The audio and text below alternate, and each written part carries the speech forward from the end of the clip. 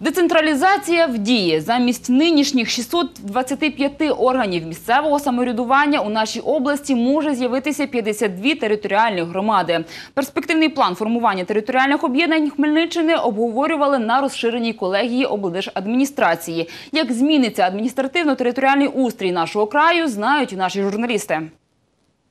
Адміністративно-територіальна реформа – запорука вдалого проведення реформи місцевого самоврядування, кажуть хмельницькі посадовці. Утім, цей процес нелегкий, адже потрібно створити саме спроможні громади. Для цього необхідно врахувати чимало чинників.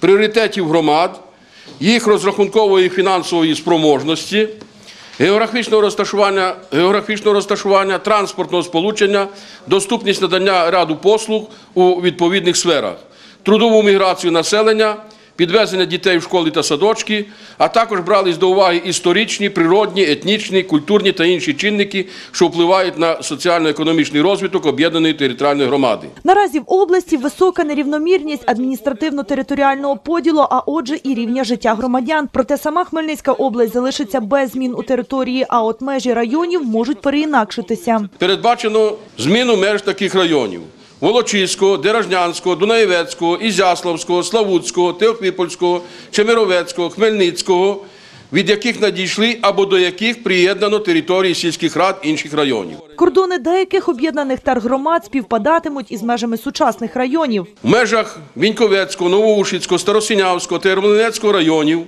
запропоновано утворити по одній об'єднаній територіальній громаді. Згідно з реформою, районні адміністрації зникають, натомість на місцях обиратимуть депутатів та старост, які будуть підзвітними своїй громаді. Примушувати ж до об'єднання влада права не має, але за вчасне злиття громади отримують бонус. Формування перспективного плану і його затвердження на сесії обласної ради до 1 червня відкриває дорогу до можливості отримати фінансування з фонду регіонального розвитку.